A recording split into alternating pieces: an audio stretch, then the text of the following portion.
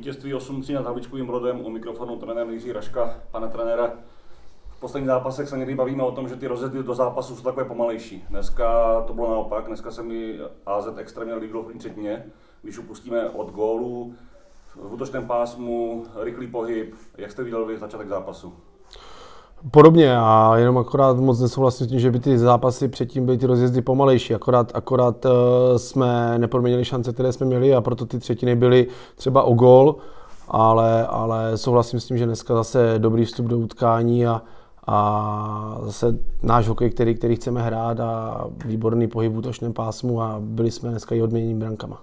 Naopak, když se vrátíme k druhé třetině, v jejím úvodu. Nebylo tam takové trošku částečné nějaké uspokojení, polevení, tam jsme se trošku možná dle mého názoru pomaličku rozjížděli, nebo pomalej, než první třetině.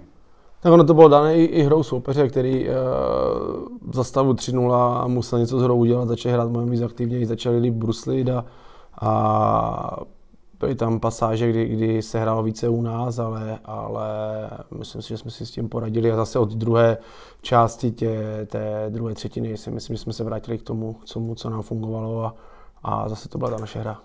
V několika málo dnech jsme tady zažili různé zápasy.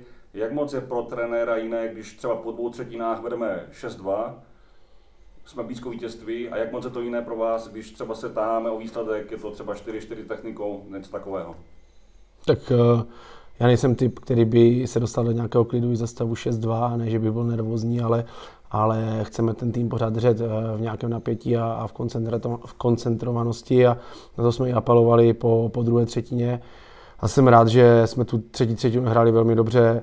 Samozřejmě byli tam, byli tam vyloučeni dvakrát 5 na 3, škoda toho smolného, smolného gólu a v závěru, ale, ale odehráli jsme to dobře, to oslabení. David nás tam velmi podržel, takže takže za mě je dobrý zápas dneska. Když se bavíme o oslabení 3 na 5, napadlo mě, není eh, lepší si něco takového zkusit v zápase, kdy už je to, dá se říct, o výsledku rozhodnuto, než eh, tady tohle trénovat? Není to lepší trénink v tom samotném utkání pro ten manšaft?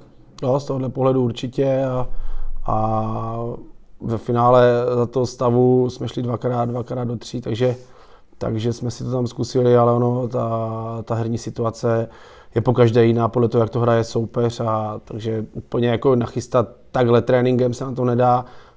Na toho soupeře se musíte nachystat eh, po každé jinak podle toho, podle toho, co tam hraje.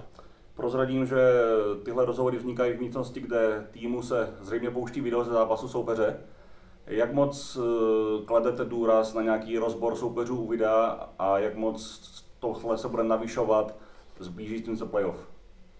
Tak eh, my se na každého soupeře připravujeme pečlivě a, ať už eh, je to tým, eh, který je blízko na tabulce, nebo tým, který je níž, tak prostě rozebíráme jeho hru.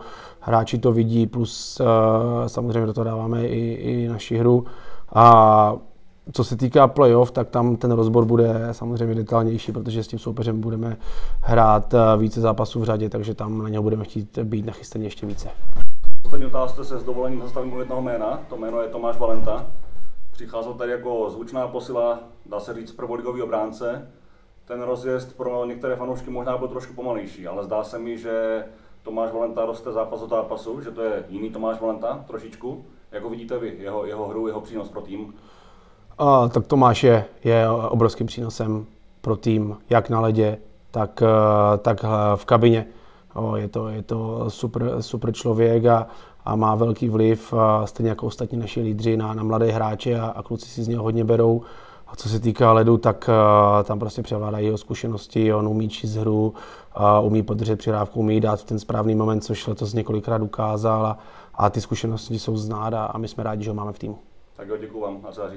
Jo, díky. Díky.